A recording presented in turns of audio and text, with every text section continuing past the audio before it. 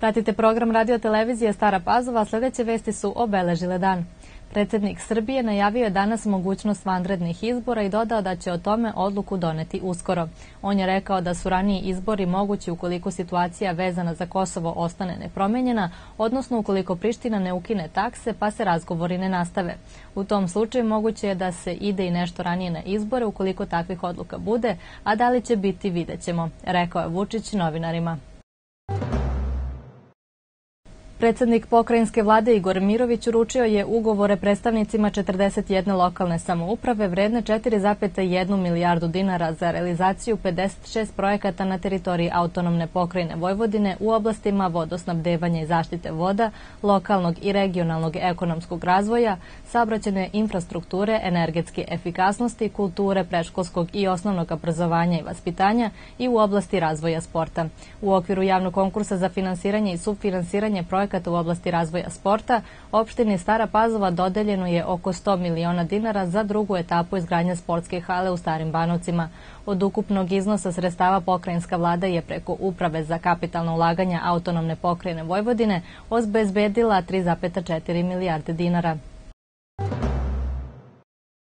Za Institut za majku i dete u Beogradu biće izdvojeno 263 miliona dinara za izgradnju novog sterilnog bloka, odnosno odeljenja za transplantaciju koštane srži, najavio predsednik Srbije Aleksandar Vučić posle obilaska te ustanove.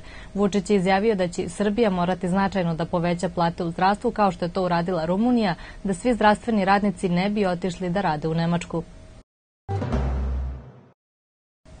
Matične knjige umrlih od danas su povezane sa jedinstvenim biračkim spiskom, a deo jedinstvenog biračkog spiska automatski se ažurira, objavila je premijerka Srbije Ana Brnabić na svom profilu na Twitteru.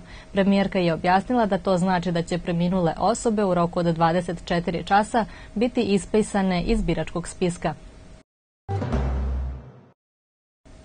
Predavanje na temu gde grešimo u proizvodnji bilja, setva kukuruza i predsetvena priprema zemljišta, integralna zaštita bilja i promena rokova i uslova za subvencionisanje tovnih grla i promene u pravilniku koji se odnosi na registraciju i obnovu registracije poljoprivrednih gazdinstava održat će se u Vojki sutra u sali mesne zajednice s početkom u 10 časova, dok će se predavanje na istu temu održati i u Staroj Pazovi u četvrtak 21. februara u maloj sali Bele zgrade s početkom u 10 časova. Predavanje organizuje Poljoprivredna stručna služba u Sremskoj Mitrovici.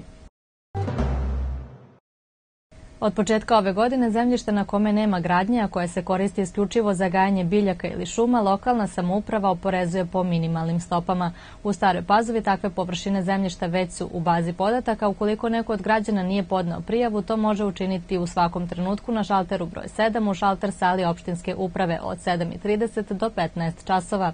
Cena kvadratnog metra poljoprivrednog zemljišta koje se nalazi u građevinskoj drugoj zoni sada iznosi 98 dinara, odnosno 86 dinara u trećoj zoni, dok je pre stupanja na snagu ove izmene isto zemljište bilo oporezivano po ceni od 180 dinara.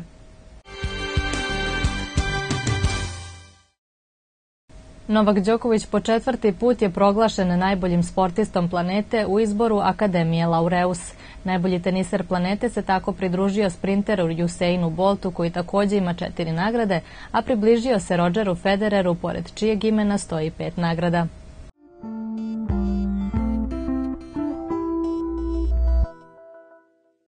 Sutra ujutro i pre podne pretežno sunčano, posle podne i prolazno na oblačenje, vetar slab i umeren. Najniža temperatura od minus 2 do 4, a najviša od 13 do 15 stepeni.